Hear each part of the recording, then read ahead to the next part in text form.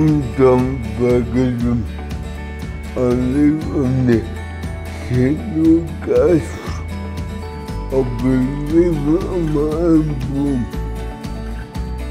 Daddy of Me.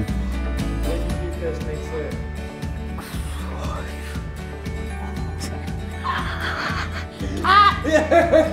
I spoke with Tom on the phone for probably five years before I met him. He met Jenny, who was our former manager, and then when Jenny retired, I took on that role. É eu, viva. We've had our, our good and our bad, yeah, so we've been through a fair bit together. Eu, é.